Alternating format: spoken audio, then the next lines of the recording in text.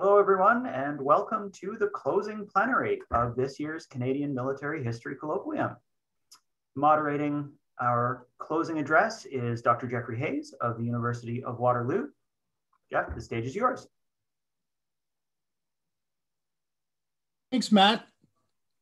Uh, it would not be a, uh, a Laurier colloquium without a plenary talk by, by Terry Copp, one of Canada's best known military historians, and who really is the founder of this gathering that we always look forward to every year. Uh, he started this colloquium way back when, I can't even remember when, back in the early 90s, through the center that he created and uh, in the Laurier Center for Military Strategic and Disarmament Studies. He was also at that time the founding editor of Canadian Military History, a journal that continues to produce great work from new generations of scholars, which is just as Terry intended. Terry's books are well known to all of us, I'm sure. The Maple Leaf Route series with Robert Vogel, The Brigade, uh, Battle Exhaustion with uh, Bill McAndrew, uh, various other works that he has done, including Fields of Fire and Cinderella Army, all of which are now considered classics. He'll probably get mad at me for calling them classics, but there you are. His battlefield guides of the Canadians have led thousands of Canadians, including, I'm sure, many of those who are watching today on their own tours, their own tours of discovery of Northwest Europe and Italy. And they have, of course, helped raise the profile of the Canadian armies in Italy and in France, Belgium, the Netherlands, and of course, Germany. Now, some might not know this, but before Terry was a military historian, he was a social historian, particularly centered in the town he grew up in, Montreal. His book, The Anatomy of Poverty, published in 1974 by McClelland Stewart, is, I'm going to use the word again, another classic study of the city that examines the impact, particularly of, massive economic growth through the first 30 years of the 20th century, particularly on the working people of Montreal. It was, uh, uh, and remains, still is, a remarkable piece of work. Terry's latest book is, again, most of us know, Montreal at War, 1914-1918, with Alec Maavara, which is in the UTP catalog for publication in early 2022 is then a, a, kind of return back to Montreal's roots for Terry. And so it uh, is neat to kind of follow the trajectory of Terry's many interests and curiosities. Any of us who have heard Terry talk or read his books over the years will admire his remarkable energy and his intellectual curiosity. His talk today on public opinion in Montreal during the Spanish Civil War is further evidence of his ability to take us in new and provocative directions. Terry, the floor is yours. Thank you again. Well, thank you, Jeff, and uh, thanks to the organizers, Matt Baker and Britt Dunn, and special thanks to those of you who stayed to hear this last session. My paper today is based on sections of a work in progress on Montreal in the last years of the Depression, and especially the Second World War. It's modeled on Montreal at War 1914-1918, which the University of Toronto Press, as Jeff says, will be publishing in February of 2022. My interest in Bethune and the context within which he acted dates back to the 1970s and a graduate seminar on Montreal history I taught at Concordia University. In those days, students wrote a series of papers on many aspects of the city in the 1930s, including Harvey Levinson, whose work on the Spanish Civil War in Montreal I reread recently. I might say Harvey's MA thesis uh, is available online through Concordia University. The story of Bethune and the bishop was also influenced by my participation in a conference organized for the 40th anniversary of the death of Norman Bethune. The conference held at McGill University in 1979 attracted a wide variety of spectators, including a large number who wished to celebrate the life of a revolutionary hero and those who were interested in placing Bethune within the context of his times. My presentation back in 1979 was called The Health of the People, Montreal in the Depression Years, and it barely mentioned Bethune, focusing instead on efforts to improve public health and especially the relative success of the ongoing struggle to reduce the rate of infant mortality, which had made Montreal one of the unhealthiest cities in the Western world. In the new manuscript, Bethune's Montreal story is preceded by an overview of the economic, social, and cultural life of the city, which was mired in the Great Depression. And I want to begin today with a very brief sketch of that reality before presenting different reactions to the outbreak of the Spanish Civil War. When the Depression began, just over 900,000 people lived in the city, roughly 200,000 households. Just 40% were part of the paid labor force, even during the prosperity years of the late 1920s. And this always included large numbers who were regularly unemployed during the winter months when the river froze and the harbor closed. Now, in the 30s, despite much talk about the virtues of rural life and a government sponsored colonization movement, migration to the city continued throughout every year. And by 1936, more than a million people lived in Montreal, Canada's metropolis. In 1933, the worst year of the Depression, one third of the labor force was unemployed. And by 1936, the numbers had only fallen to one in four. Municipal relief in 1936 provided a family of five with $10 a week less than half the amount the Department of Labor thought was necessary for the most basic standard of living. To better understand this and what it meant for daily life, you might want to read Denise Baillargeon's Making Do, an account of women, family, and the home in Montreal during the Great Depression, which was published in translation by Wilfrid Laurier University Press. Montreal in the 1930s was an ethnically diverse, residentially segregated city.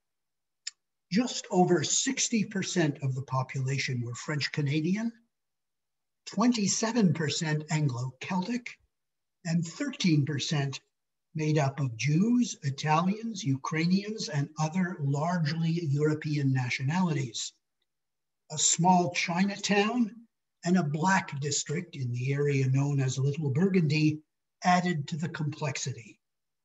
The indigenous population of the area, concentrated at Kahnawake near Montreal, was just over 2,000, with, according to the 1941 census, just 205 living on the island of Montreal. Throughout the 1930s, newspapers and radio broadcasts provided Canadians with detailed reports on world events. They were based on dispatches from the international news services rather than overseas reporters, and they were for the most part straight factual accounts. For Montrealers with multiple daily newspapers, as well as five radio stations, events like the Japanese conquest of Manchuria, the rise of Hitler, his anti Semitic measures, including the Nuremberg Laws, the Italian invasion of Ethiopia in 1935, and the occupation of the Rhineland by Hitler's army in March of 1936 were all seen as important but distant events of little direct concern to the population. The outbreak of the Spanish Civil War in July 1936 evoked a much stronger reaction, at least in Montreal, where Catholics supported Franco's crusade to overthrow the Republic from the very first day. Chronology is one of the most important and abused tools available to historians. And I think we should note that in the summer and fall of 1936, Canadians chose sides on the Spanish Civil War on their basis, on the basis of their attitudes towards the Soviet Union, the Comintern, and the Communist Party's 1935 decision to endorse Popular Front movements, uniting the left. For Catholics, nationalist claims that the Republic had plunged Spain into a civil war because it was controlled by atheistic communists were readily accepted. In Montreal, French Canadian, Irish, and Italian clerics, as well as most of their laymen, endorsed this anti communist crusade before detailed reports of the Red Terror directed at priests and nuns were available. The large majority of Montreal's English speaking population, Protestant and Jewish, were indifferent or neutral with regard to Spain. All three English language dailies supported the British sponsored non intervention agreement of August September 36, and the Weekly Jewish Chronicle ignored the issue entirely, focusing on Palestine and the plight of the Jews in Poland and Germany. There were individuals in all communities who rallied to the Republican cause, but active Canadian support for the Loyalists was, in 1936, largely confined to Communist Party members motivated by the view that the Republic was anti fascist and pro Soviet. Outside of communist circles, it is clear no one was talking about a future war with Hitler's Germany. The fear was what Hitler might do to the Soviet Union. The most prominent or best known activist in Montreal was Dr. Norman Bethune, a great war veteran and a thoracic surgeon of considerable reputation. Bethune, however, was not universally admired in Montreal, either by his medical colleagues or fellow activists. Edward Archibald, Bethune's supervisor at the Royal Victoria Hospital, described Bethune's surgery as, quote, quick, rough, untidy, and a little dangerous. The hospital was losing patients operated on by Dr. Bethune at an unusual rate. Bethune denied the relevance of this, insisting that his rate of failures was a consequence of the more serious cases, cases he took on, and the question is essentially unanswerable. But we do know that Bethune found a more congenial environment at Sacre Coeur Hospital in 1933 and remained there as the head of thoracic surgery until he left for Spain. Bethune, like so many other romantic radicals of the 30s, visited the Soviet Union, ready to be impressed with what officials chose to show him. On his return to Montreal, he joined the Communist Party and organized a Montreal group for the security of the people's health. They collectively drafted a manifesto and sent it to the provincial political parties before the 1936 provincial election. When the civic authorities created an unemployment medical relief commission in 1936, which offered doctors 25 cents per patient visit, most of Bethune's group volunteered their service. Bethune was left angry and isolated. That was the mood when he learned of a plan to send a Canadian medical aid mission to Spain. Now, the North American Committee to Aid Spanish Democracy was an openly Communist Party organization. But in Canada, the CCF, which had previously resisted the Open Front, the United Front, or cooperation with the CPC, was involved from the beginning. Bethune was invited to Toronto and offered the leadership of the proposed mission to Spain. He was to participate in a mass meeting to raise money on the project, and the Toronto Committee invited a delegation from the Spanish Republic, who were currently touring the United States, to be the main attraction in Toronto. The delegation included a Franciscan priest from the Basque country which was Catholic but loyal to the Republic. something that caused the Vatican considerable difficulty.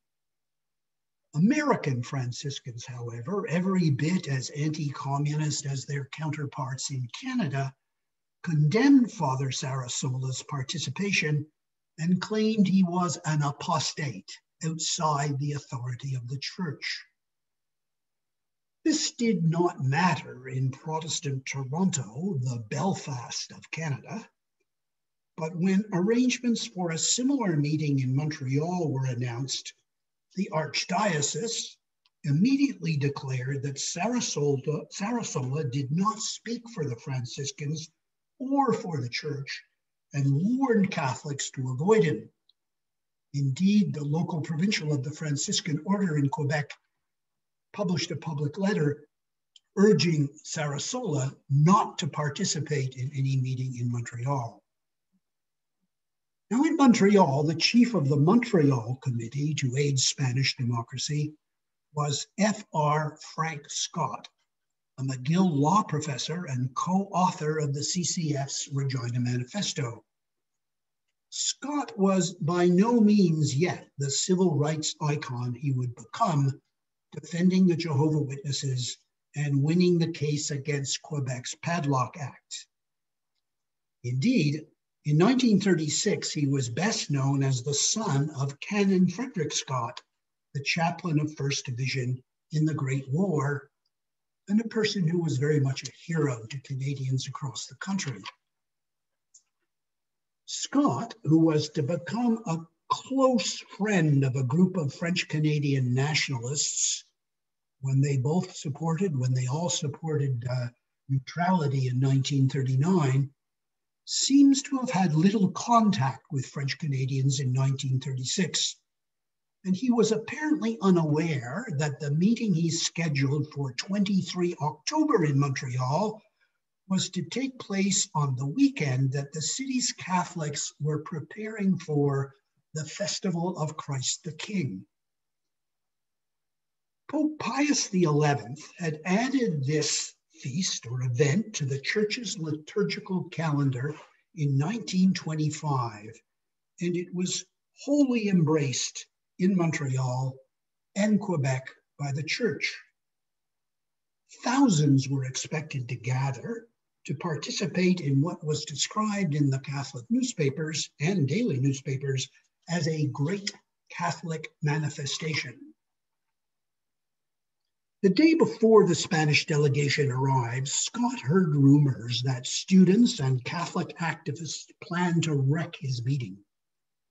He called the director of police seeking assistance, but was met instead with open hostility.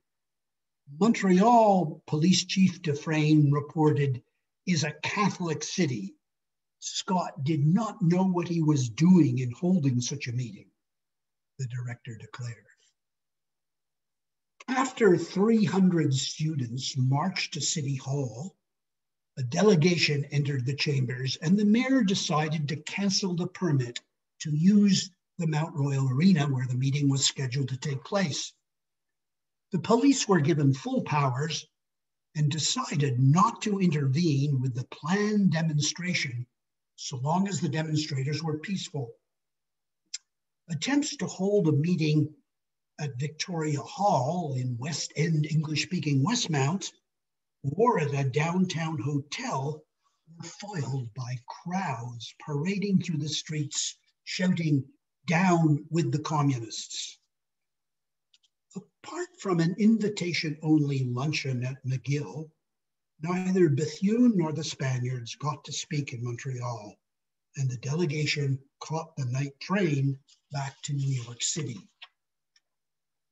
Scott issued a statement the next day that read The delegates did not come as exponents of any political theory, but simply as Democrats to state the case for their democratically elected government.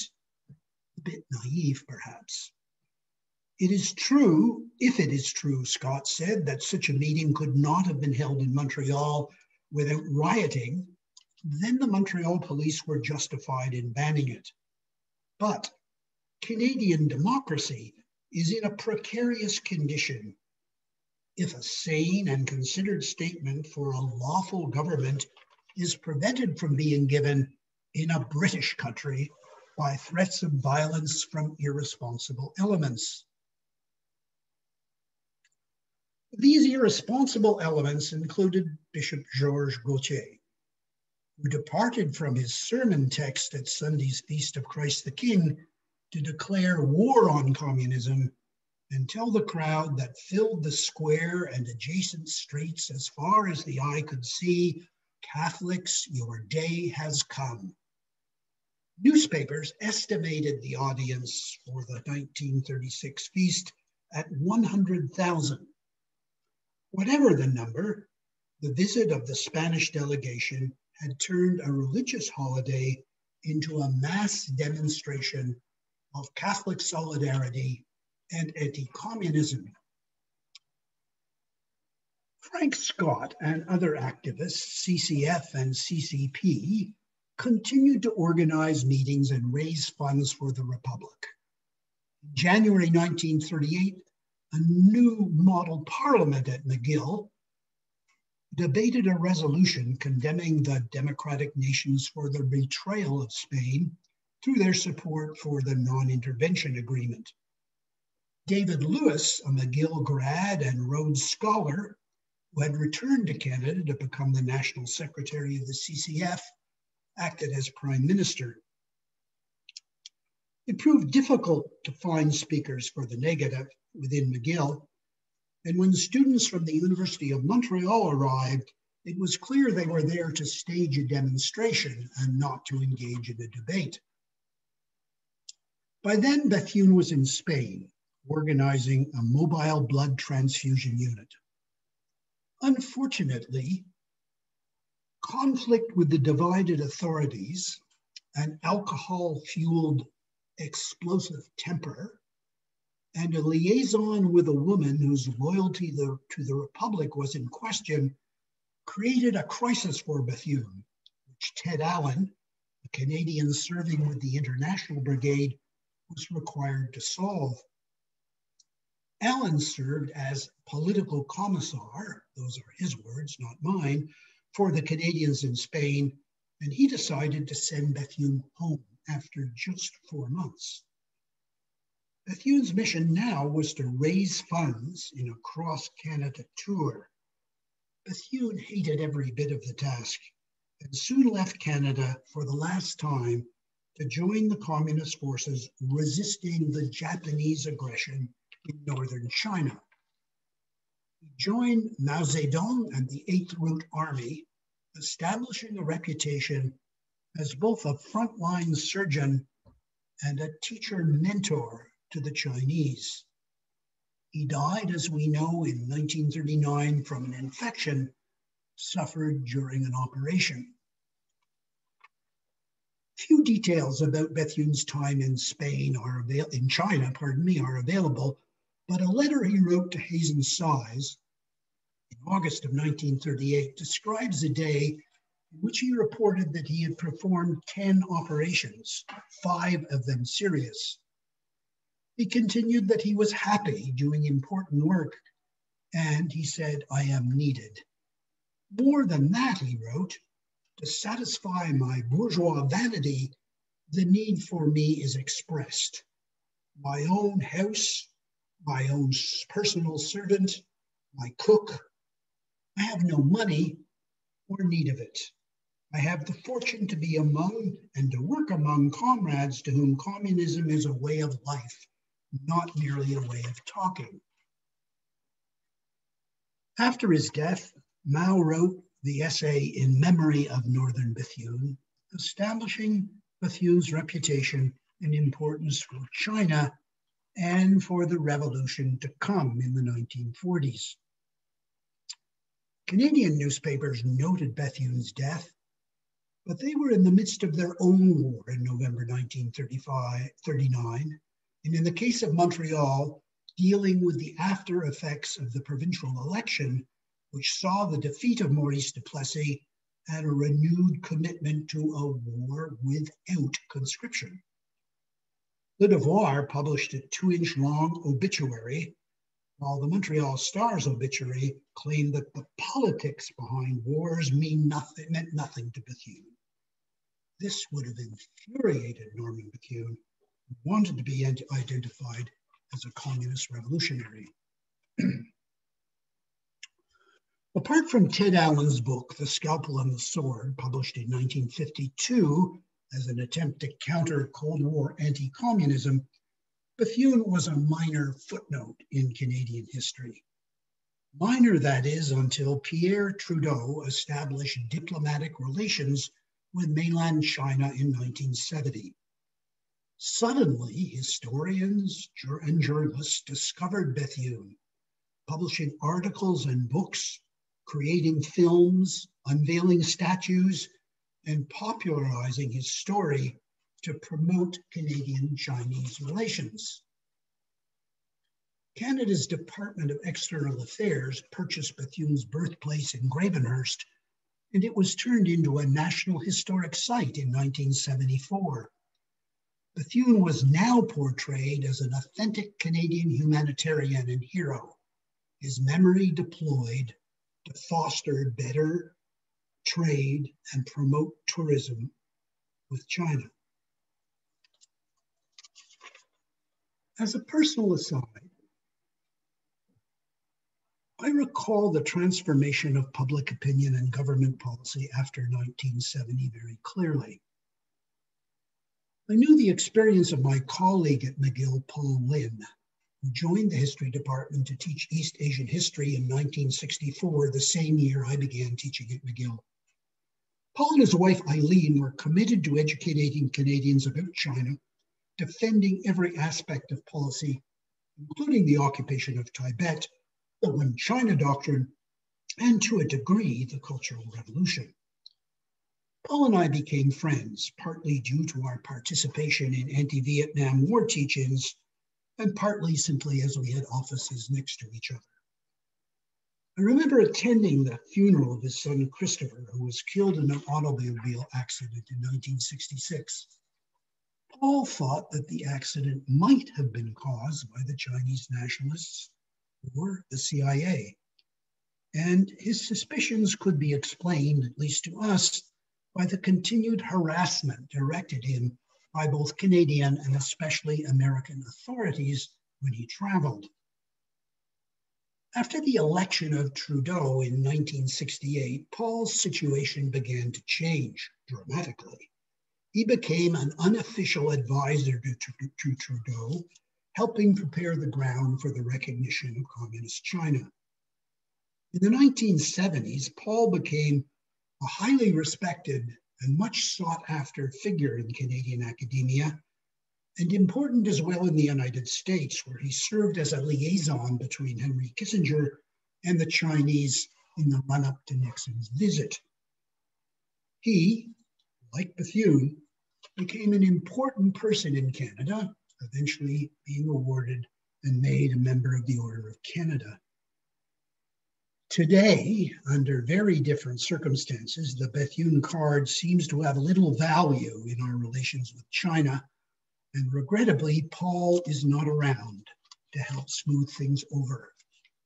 All of us who knew him miss him very much. I have no quarrel with the received version of the Bethune story, even as updated by Adrienne Clarkson in her biography for the Extraordinary Canadian series which certainly emphasizes the humanitarian rather than the political side of Bethune's personality. No quarrel, so long as we understand that the life of Bethune tells us almost nothing about the Spanish Civil War or the Sino Japanese conflict, and not much more about Montreal in the 1930s. Bishop George, Georges Gauthier, Bethune's antagonist in 1936, presided over the Archdiocese of Montreal for 20 years, and his activities can tell us a great deal about life in Montreal.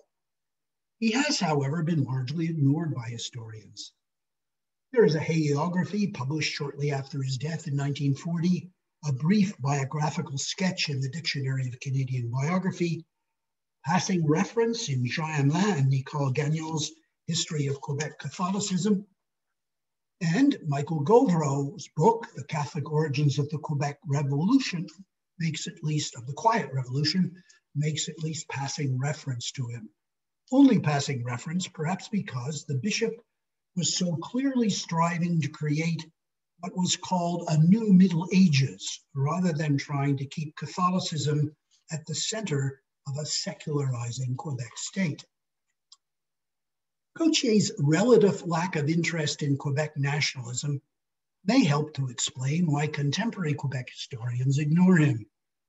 Abbe Lionel Groulx, André Laurendeau, and other nationalists can be celebrated for what, what is called their dream of nation. But Gauthier rests in obscurity. His Laurentian home became a tourist inn, not a national historic site. Born in Montreal in 1871, ordained in 1894, after doctoral studies in Rome and a series of important appointments in the Archdiocese of Montreal, Gauthier was made auxiliary bishop with right of succession to the Montreal Archdiocese in 1918. When Archbishop Bruchesi succumbed to dementia the following year, Gauthier administered the archdiocese until his death in 1940. Described by his DC biographer, Denise Robillard, as a studious, reflective, and highly cultivated man with the gift of a vibrant voice that helped to make him a powerful, effective, and convincing speaker, Gauthier was involved in most aspects of Montreal's religious, cultural, and social life. Perhaps we should remind ourselves that during the first half of the 20th century, organized religion played a much larger role in society than it does today. For French Canadians, frequent, if not regular attendance at Mass, children educated in clerically controlled schools with extensive religious indoctrination, relatives or friends who were members of religious orders, hospitals, welfare institutions, colleges, and universities owned and operated by the clergy, obviously all of this influenced the society. Even in Montreal, where a 60 hour work week, family responsibilities, and the temptations of a large city dominate daily life, the influence of the church is wholly understandable. Like other religious leaders, Protestant and Catholic, Gauthier used the pulpit to admonish people to avoid the activities which Montrealers so very much enjoyed.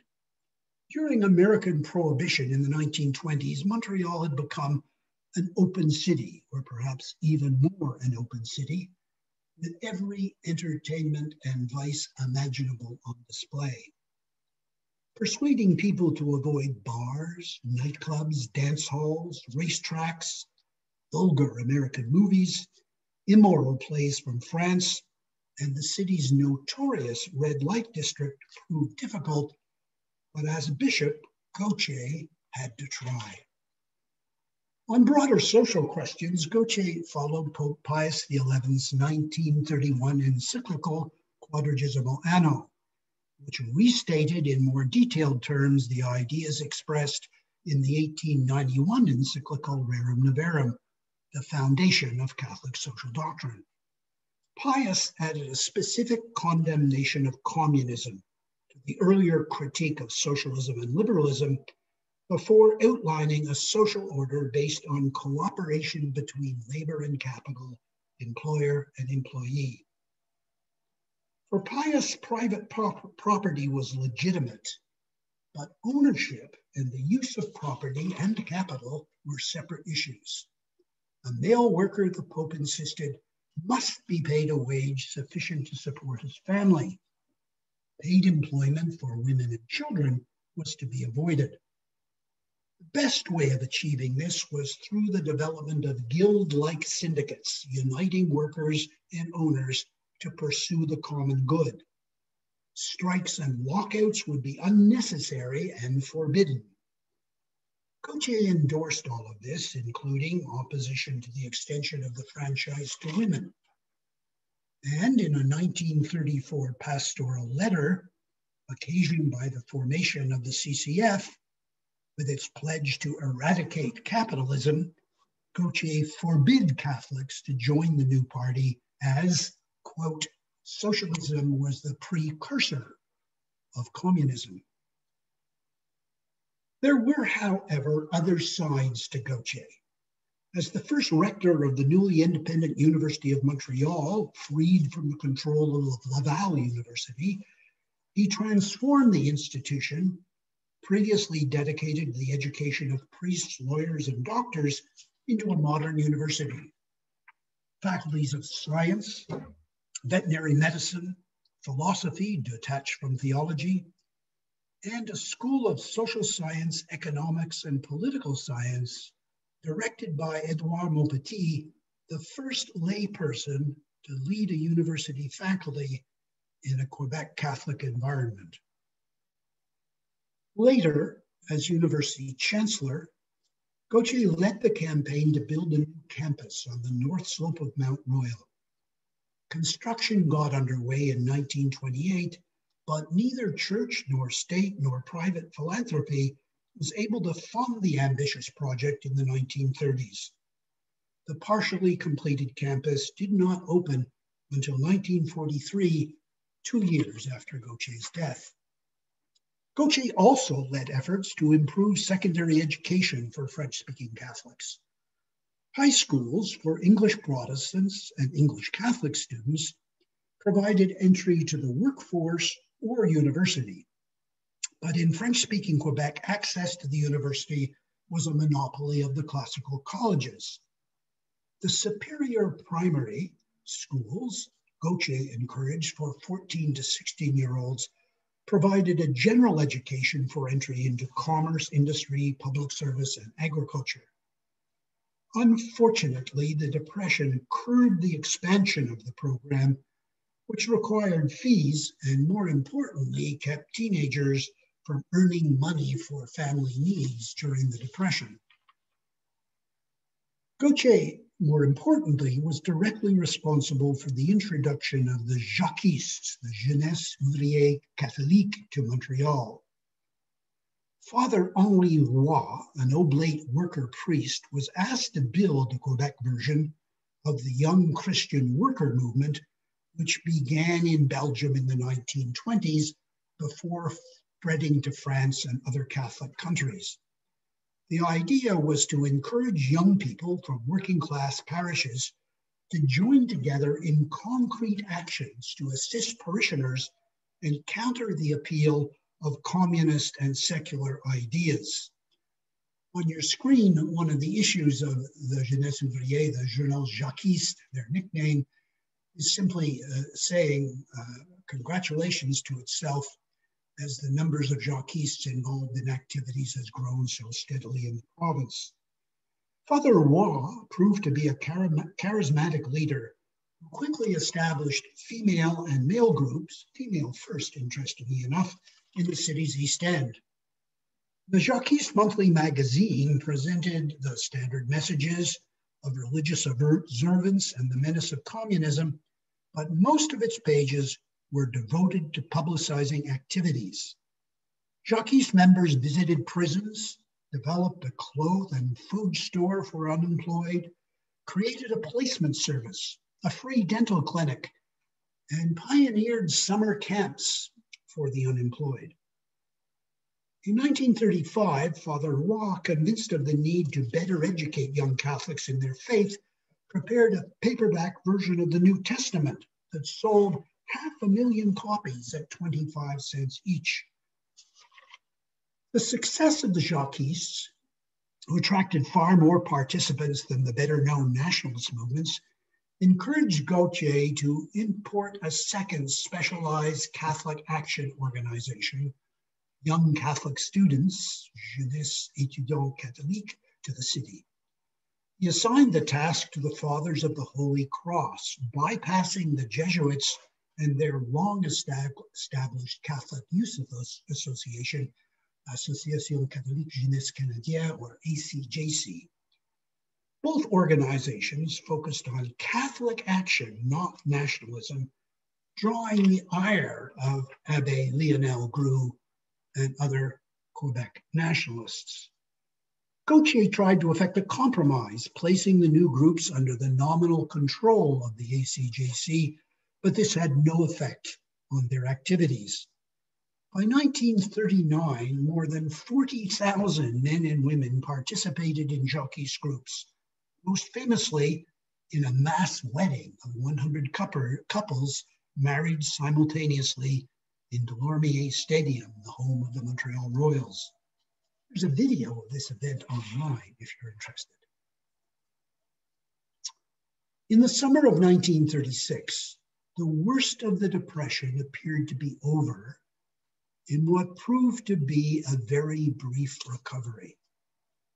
The major news in Montreal that summer was the election in August that brought Maurice Duplessis in the temporary guise of a reformer to power. The civil war in Spain, which began in July, only intruded onto the front pages in September when Franco's nationalist forces began the siege of Madrid. By mid October, the fall of Madrid was thought to be imminent. And on October 21st, Le Devoir published a front page editorial outlining a report of attacks on clerical institutions by partisans of the Republic. The article was based on one of the first detailed reports issued by the Vatican. There was as yet no confirmation of rumors of the murder of hundreds of priests and nuns, but the story with less dramatic details still shocked Catholics. When the Spanish delegation arrived in Montreal on the morning of 23rd October, the French language press in Montreal was in full cry. La Patrie, the populist conservative daily, placed a question mark at the end of a headline which read, A riot at the arena tonight? Coverage of the student action at City Hall, when the 300 young men and women arrived, was positive indeed encouraging. And after a raucous night of street demonstrations, which prevented the Spanish delegation from speaking, the French language press described the action as an anti communist manifestation carried out by the population which had paraded through the streets of Montreal. No rioters were observed in the French press. The next day, a crowd said to number 100,000 gathered to hear Gauthier, as well as civic leaders, condemn communism and celebrate a great Catholic manifestation. Catholics, your day has come. You remember Gauthier said. Conflict between Catholic organizations and the Montreal to Aid Committee to Aid Spanish Democracy continued when Bethune returned from Spain and on, and on other occasions. On my screen, a photograph from Le Canada, the liberal newspaper, of the crowds at the Champ des Mars for Gauthier's speech is demonstrated, uh, hoping to try and establish just how powerful this all was. Um, but, sorry, let me begin again. Conflict between Catholic organizations and the Montreal Committee to Aid Spanish Democracy continued when Bethune returned from Spain, Spain and other occasions, but the international situation changed dramatically in 1938 with the annexation of Austria, the Munich Agreement, and above all, Kristallnacht, which in Montreal, as well as Toronto and elsewhere in Canada, united citizens in fear and loathing of Nazi Germany. By late 1938, Spain was no longer the dominant issue and largely disappeared from the news. What might we learn from this attempt to understand the context of the clash between Bethune and the bishop? At a minimum, we can surely agree that the kind of presentism that turned Bethune into a Canadian hero in the 1970s poses a challenge to our understanding of the past. Researching and writing in a silo with concrete walls protects us from complexity, but distorts history, often to advance agendas. We might also wish to reflect upon the ideological debates of the 1930s, understanding that the fundamental problem confronting Canadians was the lack of external demand for our principal exports, wheat and newsprint, which accounted for most of our foreign exchange, and for the survival of the prairie economy. The collapse in demand impacted the overbuilt and debt laden railway system and reduced traffic through a harbor like Montreal's by more than 50%. Demand for domestically produced manufacturers declined rapidly, creating mass urban unemployment. Government revenue and profits declined sharply. None of the political agendas on offer in the 30s addressed these issues. The Communist Party of Canada, a loyal Stalinist organization, had nothing to offer except a quasi-religious belief that life was better in the Soviet Union. The Regina Manifesto, with its promise to eradicate capitalism, nationalize railways and banks, and much else, was equally irrelevant to the economic crisis of the time. Pre-Keynesian parsimony, the solution of liberal and conservative leaders, offered no hope and no help. In this context, Catholic social doctrine urging cooperation and a living wage may not have been the absolutely worst option. One last thought, and then perhaps there may be questions. We all know that events may not be caused or influenced by events that have not yet taken place. But too often in practice, we are allow our knowledge of the future to determine our view of the past. The thoughts behind the actions, Collingwood's phrase, of individuals in 1936 were not based on the belief that the Second World War was about to begin, or begin in three years, or that war induced demand would transform the economy. They had to act on the basis of what they knew and what they believed at the time. Surely it's our job, historians, as historians, primary job as historians to understand them before we offer judgments. Thank you.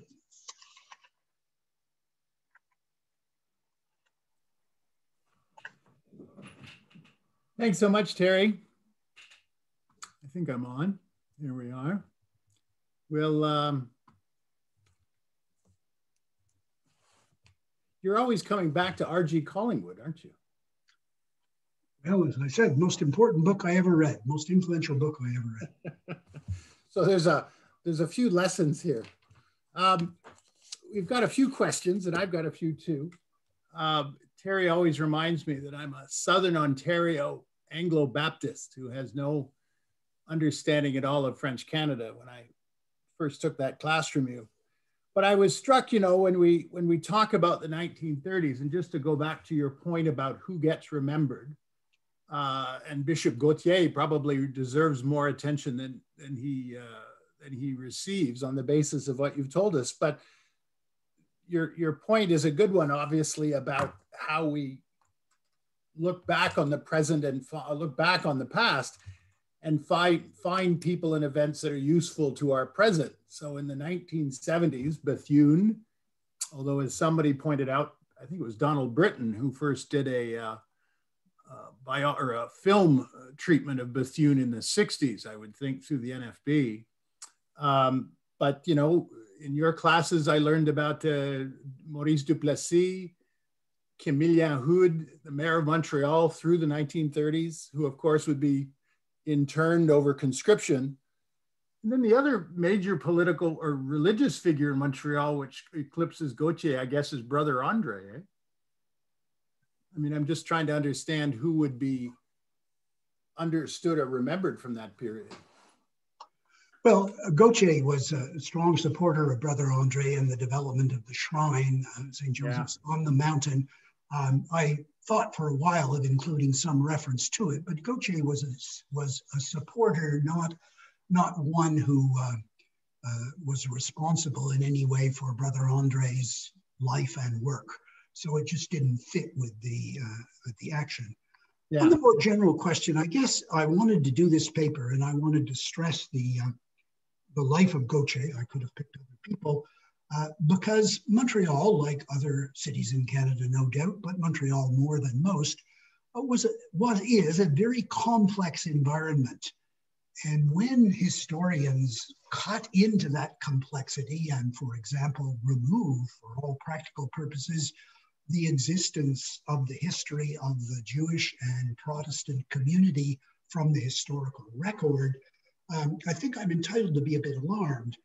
You may recall that I uh, served uh, for the Montreal English speaking school board as a historian consultant on the new Quebec curriculum uh, and wrote a detailed report which uh, suggested that the unwillingness of the curriculum, which was clearly institu instituted under uh, uh government, uh, to even mention uh, prominent Anglos like, say, D'Arcy McGee or um, Alexander Tilloch Galt, or to address the question of institution building, or to address the role of the Jewish community, Italian community, or other communities in Montreal in a way that allowed their li lives and their experience to be part of Montreal's story. Uh, this is, of course, what is uh, what has led me in both Montreal War 1914-18 and in the new book to um, keep remembering that I want to talk about everyone in the city that I can, uh, can find uh, relevant information about. Uh, I, am mindful of a couple of questions, but this one just ties in. I'll come back to your question, Dave Alexander, in a second. Uh, Mike Boire is asking to, to your point about who is in Montreal, what were the most active Scots, Irish, Jewish charities in Depression Montreal? Well, Montreal, in terms of private charities, was organized strictly on religious lines. So there is a uh, Protestant uh, welfare predecessor to the United Way organization, one for English Catholics, one for French Catholics, a number for Jews, but a centralized collection of the general appeal type was there. Um, Italians operated, we're only talking about a relatively small Italian population in the 1930s, 20,000. Uh, they had their own organizations, uh, which uh, were certainly necessary because Italian unemployment during the 1930s probably exceeded that of both Anglos and French Canadians uh, because they had been particularly associated with work on the railways and railway shops. And that practically closed down as an industry in Montreal. Sure, sure. Um, Dave Alexander, who comes from Owen Sound, and they pride themselves that Norman Bethune is, I think, uh, on their wall of remembrance in the high school. And if I remember, Dave, correct me if I'm wrong, you can send me a note that he's credited with being one of the first uh, uh, soldiers. Well, soldiers, is that the right phrase? But I, it's as if they didn't quite know what to do with Norman Bethune you know, Owen Sound High School. So he's credited with being one of the first ca fatal casualties of the Second World War, which of course isn't really true. So it's, it's part of that problem pre-1970 of knowing what to do with, with Bethune, even in his own communities. Bethune, or well, I'll finish the question from, from uh, Dave. Is Bethune simply running out of life and career choices in Canada once he departs for Spain? Well, I think the answer to that is very close to yes. I think that uh, he was uh, starting to get into trouble with the um, church run Sacre Coeur Hospital, uh, although um, he certainly was highly respected there. And it's said that the nuns who ran Sacre Coeur uh, continued to use his methods and use some films they'd taken of his operating techniques but um, Bethune's uh, communism in a Catholic society certainly uh, raised questions. And even if we did not know publicly that he was a party member in 1936, he certainly talked in a way uh, that would uh, make it difficult to continue for very long at Sacre Coeur. Um, I don't know how alienated he was from other left wing activists in Montreal. Um, in a sense, the stories that we know best about Bethune are stories of a man with a charismatic personality that dominated any room he entered into. But his arrogance and his willingness to put people down, even people who were his friends, and his unsparing criticism of people who deviated from what Bethune thought was the right course of action um, created a, an atmosphere in Montreal which made it likely that going to Spain, and then when he couldn't stay in Spain, partly for the same kind of personality reasons, uh, it, it, it, made um, China the next um, possibility. I want to be careful because I think it's important. People who knew Bethune admired him enormously, even when he made them very uncomfortable and indeed angry. Uh, he was a person who translated thought into action. And uh, sometimes that meant blundering ahead in a way that was hurtful to other people. Uh, but he was an activist, uh, not a, a, philosopher king. Um, Joel Montan has a question. He, he raises the point that David Bergeson has argued that there's an appeal to Vichy uh, in Francophone Catholic society in Quebec due to Vichy's revival of Catholicism in France. Okay, I first remember the question is all about the future for 1936.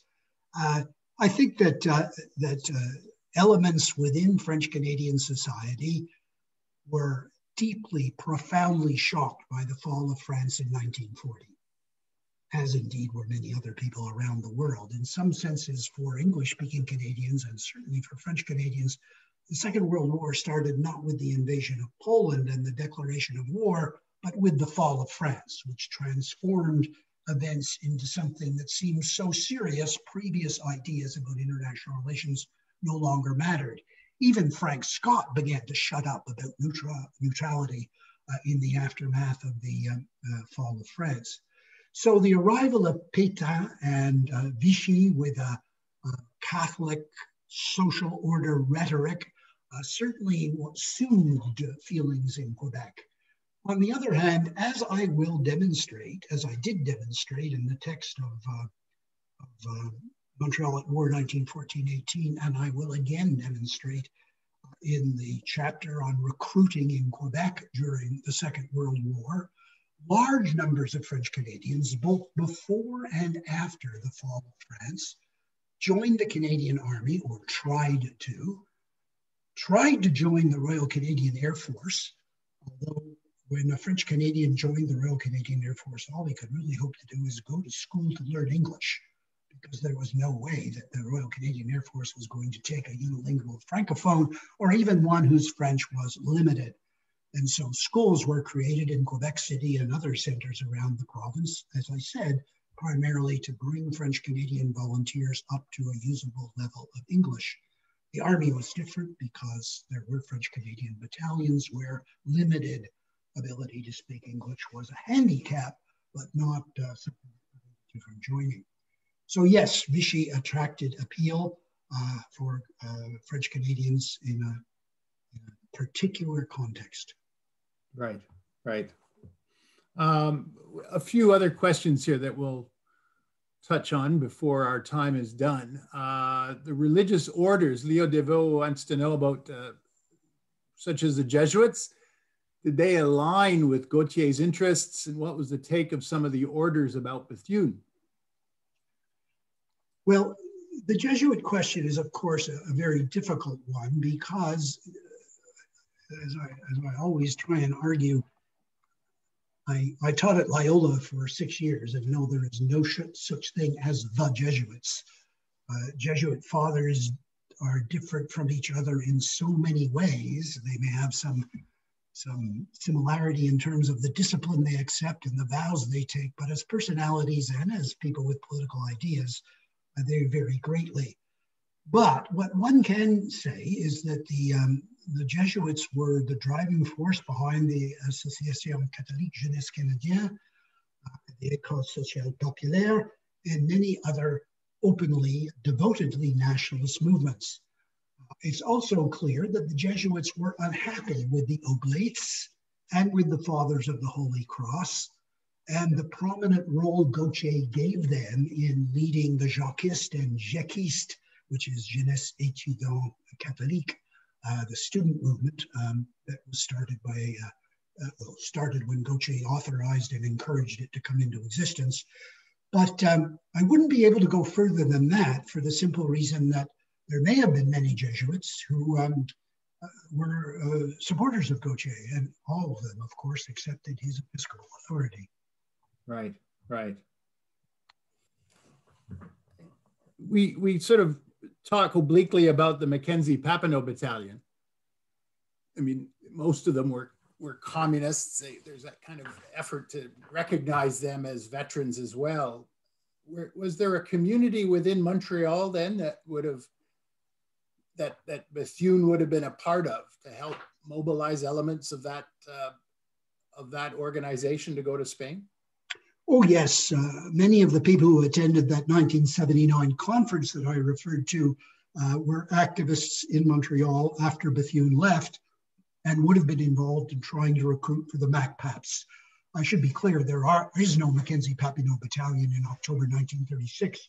It's something that emerges during the winter of 36, 37, and then uh, begins to come into existence in, uh, in 1937, 38. Um, before, like the rest of the International Brigade, it has to come home. Um, the, um, the activists in Montreal were overwhelmingly drawn from the Anglo Protestant upper class, McGill professoriate, and a part of the Jewish community. Uh, there were a few French Canadians who people list as part of the process. Raoul Trepanier, who was the president of the Montreal Trades and Labor Council, at least in 1936 37, uh, could be persuaded to support the Republic. Uh, how much this meant, I have not yet been able to discover, and certainly uh, French Canadian public support for uh, the Republic is, after 1936, early 37, confined to one very important, I'm exaggerating, but is largely confined to one very important figure, um, the owner editor of Le Jour, who um, was able to, um, and why his name is slipping my mind after all these years, I don't remember, but I'll think of it as Jean, Jean-Charles Harvey. Um, Jean-Charles Harvey um, was involved in um, an invitation extended to André Malraux, uh, the author of La Condition Humaine, The Human Condition, who had flown as a fighter pilot for the Republic and who was in North America on a fundraising tour and uh, was an author, and the English Canadian organizers of Malraux's tour um, asked uh, and other French Canadian literary figures to attend a reception for Malraux on the basis of their common interest in literature. Uh, Harvey was attacked so strenuously uh, by, uh, whatever you want to call it, the Catholics, by the press, uh, for having participated in something resembling Malraux's attempt to raise money for the Spanish Republic, that he seems to have converted because his newspaper, Le Jour, um, became um, the most, most dynamically pro-Republican newspaper, English or French, in the city. And indeed, Le Jour published the reports of a very pro-Republican columnist uh, who uh, provided Le Jour with weekly reports, especially in uh, 1937 and early 1938, uh, if you will, building the case for the Republican cause. So, as always, it's complex. Lots of work has to be done. I'm interested in the fine grain of all these issues before I offer very sweeping conclusions. I've got two more questions here. Uh, in, in some ways, I'm, I'm paraphrasing a little bit for this. Uh, you're saying that while both these questions have to do with Bethune's reputation uh, and how it's resurrected in a, in a early 1970s, um, Kevin Spooner is raising the point as to whether or not this is the resurrection of, uh, of, of Bethune and Bethune House purchased by external, as you said, is part of a, a form of, of diplomacy uh, to try to increase and to uh, improve uh, Canadian Chinese relations? Uh, before I answer that, I should say Mark Humphreys thinks that the Canadian government bought the, uh, the Bethune House in Gravenhurst, his hometown, to give him summer employment, which it did. But more seriously, uh, I, think that, uh, I, I, think that uh, that it started as political diplomacy. It started as an attempt to use the only thing we had, the only card, if you will, we had, uh, which could link Canada and China in a highly friendly and, if you will, highly favorable manner. And I think Trudeau, the Department of External Affairs, Paul Lin, other people used Bethune uh, consciously, and I'm not criticizing them for it, uh, to promote um, Canadian Chinese relationships. Now, once Bethune was, if you will, resurrected or made into a public figure in the early 1970s, authors and historians and journalists and filmmakers uh, knew about him, learned about him, were fascinated by them, by him, and perfectly legitimately wrote books about him, books of varying quality, admittedly, but uh, there's nothing wrong with discovering an individual from the past and bringing him to the fore. I wish historians who choose to ask a, a linear question like that of the past would, at the minimum, give some kind of reference to the context in which the person lived rather than largely accepting their particular version of events uh, as the core, core, but the extent of the story. So that might your that answer might be directed towards this that last question. I think we'll wrap things up a little bit, but it's the question about how the resurrection of Bethune as a humanitarian tends to ignore the politics of the 30s. And, and if I understand the question properly, it, it's, you know, the fact that if we take his politics in the 30s seriously, uh, you're saying he's kind of ignored in in the life of Montreal in the 30s. So does what does that tell us about Canada, Montreal in the 30s?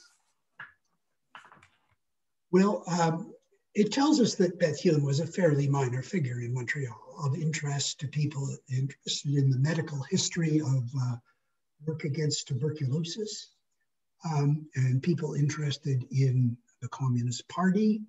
In the collection of essays from the 1979 conference, there are also sections on Bethune as an artist, Bethune as an individual who taught art classes or organized art classes for young children, Bethune also um, ran a, um, a, free medical clinic in Verdun for a while.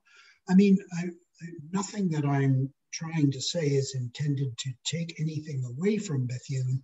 He was, mm-hmm. however, a remarkable, unusual individual uh, who, uh, whose impact upon his own society or Spain um, I hesitate to say anything about China because I think Mao's essay immortalized for the Chinese uh, uh, Bethune, and there's no coming back from that.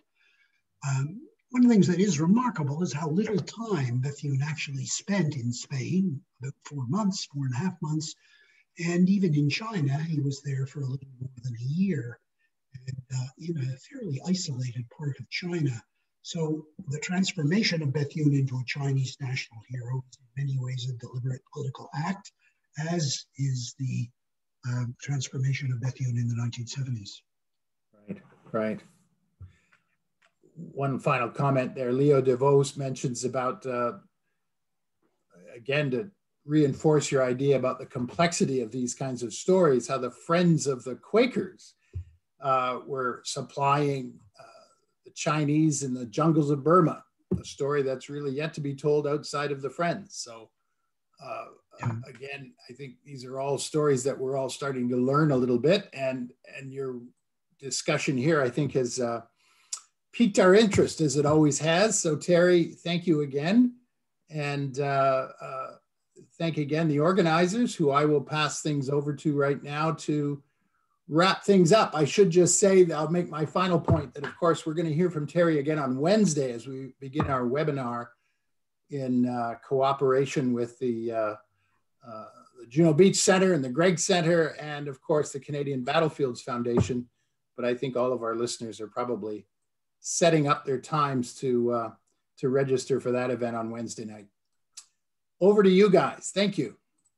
Uh, thank you, uh, Jeff, and thank you, Terry, for your wonderful talk. Um, we just have a couple of closing remarks and some thank yous just before we let you go. Yeah. Um, well, first off, like, like Jeff just mentioned, if you enjoyed the last few days and want to see more, visit canadianmilitaryhistory.ca slash webinar to sign up for the summer webinar series, which is called Maple Leaf Route. And that actually kicks off on Wednesday with a talk by Terry about Juno Beach.